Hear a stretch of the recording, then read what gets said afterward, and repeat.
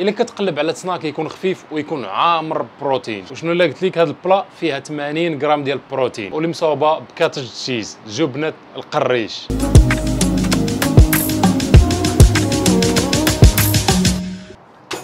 فيها 72 غرام ديال البروتين على كل 450 غرام ديال cottage cheese. ومعلومات على cottage cheese. جبنه القريش معروفة بزاف في الشرق الأوسط وكاينة حتى في المغرب عندنا. ما عرفتش شنو اللي كيسموها الصراحة. كيخرجوها من اللبن وكينزعوا منها الدهون وكتبقى جبنة. المهم يلا نبدأو الوصفة ديالنا. والدقيق اللي غادي ندير معاه هو coconut flour اللي كيكون حتى هو كل 50 غرام كتكون فيه 3 غرام ديال البروتين وغادي نحتاجو جوج بيضات. وغادي نحتاجو حتى الحليب ديال اللوز وتقدر ديروا نتوما أي حليب. ودابا نبدأو نخلطوا المقادير ديالنا. نخوي معاه جوج بيضات ونبدأ نخلط الجبنة مزيان مع البيض. ومن بعد فاش نخلطها غادي نخوي معها ثلاث المعلقات ديال الدقيق ديال ال coconut. تقريبا غادي نديرو خمسة معلقات كبار ديال الحليب ديال اللوز.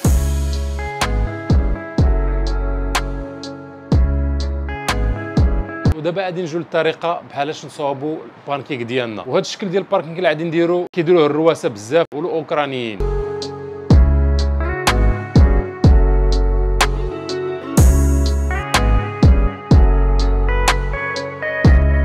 أنا عندي راه في ال air fryer حيت كتجيني سهلة وما عنديش ليا الوقت بزاف. ولكن غادي نوريكم الطريقة بحال طيبوها حتى في المقلة ونشوفوا الفرق بين ال air fryer والمقلة. غادي نديرهم على 10 دقائق 180 درجة. ودابا غادي نطيب النص ديالهم في المقلة. ندهن المقلة شوية بزيت العود ديال الطياب ونحط البانكيك ديالنا.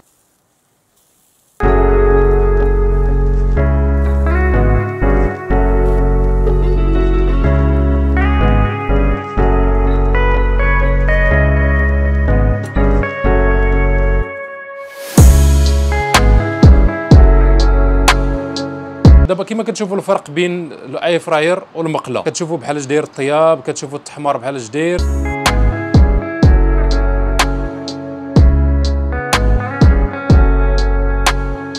وهذا البانكيك ضروري خصنا نديروا ليهم لاصوص ديالو. ولاصوص ديال البانكيك غادي نديروا معها التوت والبنان ولاصوص الثانية ولاصوص الثانية غادي نديروا فيها بنان ومانغو و passion fruit. اللي غادي تجي غسالة حتى هي من بعد يعني عندي جوج مكونات ديال la sauce عندي هاد la sauce وعندي هاد la sauce اللي غادي ندير مع البانكيك ديالي.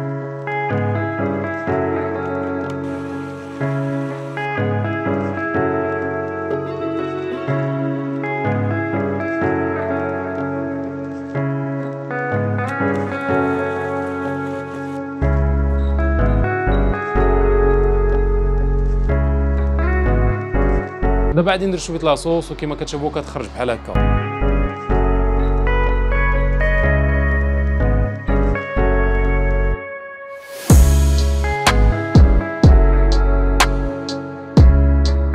كما شفتوا هذه البانكيك كاملة فيها 80 غرام ديال البروتين اللي الصراحة واحد الكمية عالية بزاف. تقدر ديروها مع la famille ديالكم تقدر ديروها مع أصحابكم. صراحة اللي كتعطوهم واحد الكمية ديال البروتين اللي كيحتاجوا في الوجبة. إلا عجبكم بحال هذه الفيديوهات هادو ما تنساوش ال likeات ديالكم. وخليني نشوفكم غدا إن شاء الله في كل شيء صحي. بيس